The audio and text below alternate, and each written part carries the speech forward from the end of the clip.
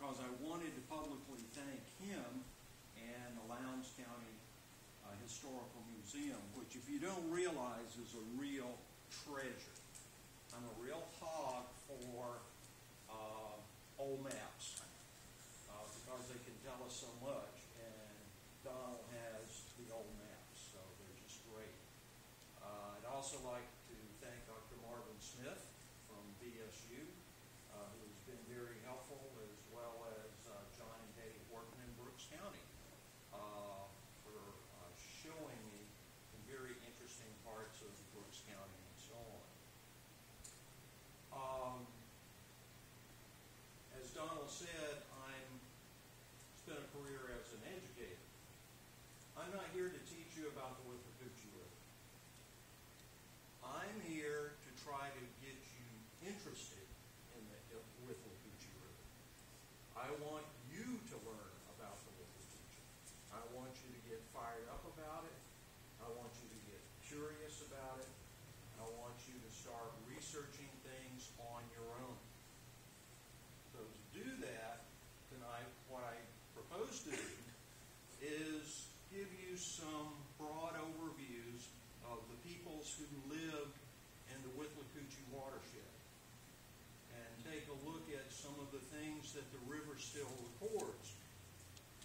Um, and we'll finish up with sort of some of the threats to the river, current threats to the river, and get into hopefully a good discussion on those types of things and so on. So, Angel, if you'd like to. Let's put the Withlacoochee River in a bit of perspective. Uh, and if we could dim the lights a little bit more, uh, maybe we could uh, see this a bit.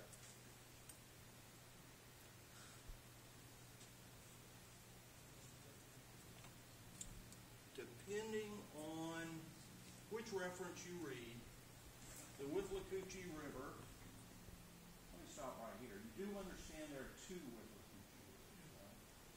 There's one in central Florida, uh, flows out of the Green Swamp, empties into the Gulf of Mexico. If any of you Google Withlacoochee River, you most of the hits you're going to find are the other Withlacoochee. So if you're doing any research on the Withlacoochee River, be very careful what you're reading. Um, this is, for lack of a better term, often called the Upper Withlacoochee or the North Withlacoochee. Depending on the reference you use, it is either 110 miles long, 105 miles long, or 106 miles long. 70 miles in Georgia, 36 miles in Florida. The watershed uh, looks like a Y, and it makes up up here in Tift County with a stream that flows out of Saps Lake, as well as a variety of little streams and rivulets that coalesce south of the delightfully named little towns of Enigma and Alapaha, and start flowing south. At Nashville, you can pretty much walk across it.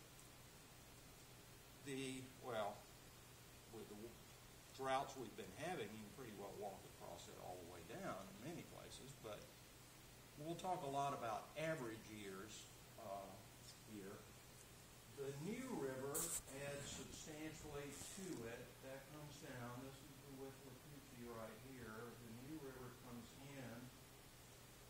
And at that point, we can really give it the name of a river. What isn't shown here is the Little River comes right down through here in the middle of this Y and flows into the Withlacoochee right here. Truly, with the Little River flowing into the Withlacoochee at that point, you can pretty much in any year always kayak it from Troupville, that point, all the way down to the Suwannee River. The Withlacoochee, this Withlacoochee is a tributary of the Suwannee River. Of course, this doesn't show down in Florida. It is the dividing line between Hamilton and Madison County and flows into the Suwannee. The Withlacoochee watershed is 2,290 square miles. uh, drains that big an area. Now, figures like that, I don't know about you, but don't mean a whole lot to me. But that's larger than the state of Delaware. Not that Delaware's that big, it's twice as big as the state of Rhode Island.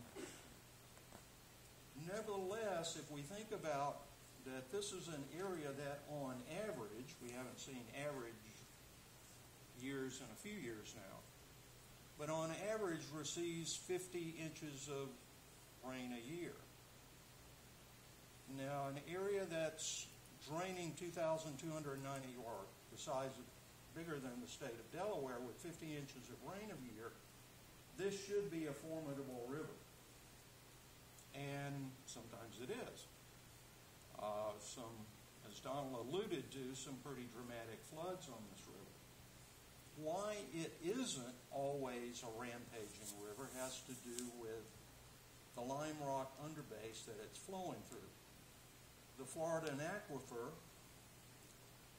that it flows through cuts down deeply into as it goes into Florida.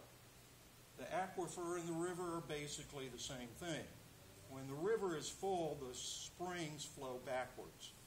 In the water flows into the springs, and of course, normal times we have a nice, beautiful spring that's emptying the aquifer and so on. So that's why we don't have this huge river all the time. Um, to compare it to other rivers, if we get down here, down into Florida, station, uh, it has a uh, flow of about 1,100, um, no, 1,700 cubic feet per second.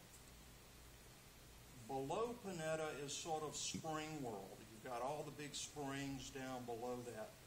Madison Blue Springs, several second magnitude springs, and so on. So by the time it reaches the Suwannee, it's probably at least about, conservatively, maybe 2,000 cubic feet per second. To give, put that in comparison, Florida's largest river, the Apalachicola, which is really the Chattahoochee Flint Apalachicola system, is close to 25,000 cubic feet per second. The Suwannee itself is about 10,000 uh, cubic feet per second. So, by any measure, this still remains a little river. Um, nevertheless, it contributes about 16% to the flow of the Suwannee in any given year. Uh, so does the Alapaha and the Santa Fe, two other tributaries.